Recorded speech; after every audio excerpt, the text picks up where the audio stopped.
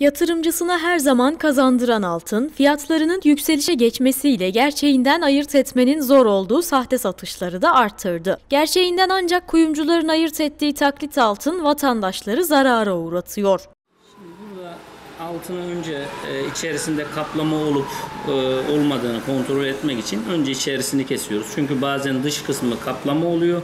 İç kısımlarında da altın olmayan madenler kullanılabiliyor. E, bunları mihenk taşı dediğimiz e, taşa sürterek burada altının buraya bir iz bırakmasını sağlıyoruz. Bu birinci test aşaması oluyor. Ondan sonra bunun e, değişik e, ayarlarda ayar suları vardır. O ayar sularına sürerek bunları test etmiş oluyoruz.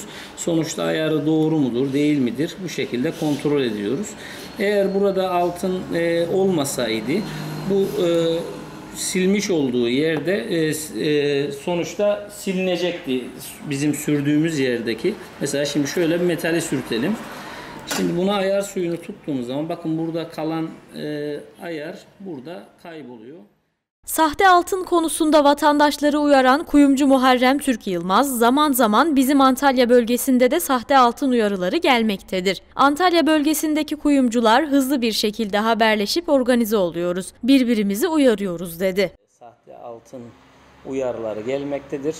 Odamız bizleri e, hızlı haberleşme e, sitemiz üzerinden, e, WhatsApp grubumuz üzerinden Antalya bölgesindeki kuyumcular hızlı bir şekilde haberleşip organize oluyoruz. Birbirlerimizi uyarıyoruz. E, ama zaman zaman altın fiyatlarının artmasıyla birlikte bu tür dolandırıcılığın türleri değişerek her yıl e, farklı türde e, altın kaplama oluyor, gümüş üzerine yapılıyor veya ayarı düşük çıkıyor bazen zaman zaman 14 ayar bir ürün 10 ayar çıkabiliyor yani daha düşük ayarlarda çıkabiliyor. E, onun için vatandaşlarımızın güvenmediği yerlerden altın alışverişi yapmamaları konusunda e, uyarırız.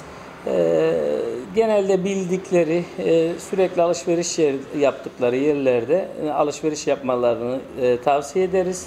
Sırf bazen 5 lira daha çeyreğe uygun alabilmek için e, zaman zaman e, uygun yerlere gitmeye çalışıyorlar. Ama bunlarda da daha ayarı düşük sıklıkla e, altınla karşılaşılıyor.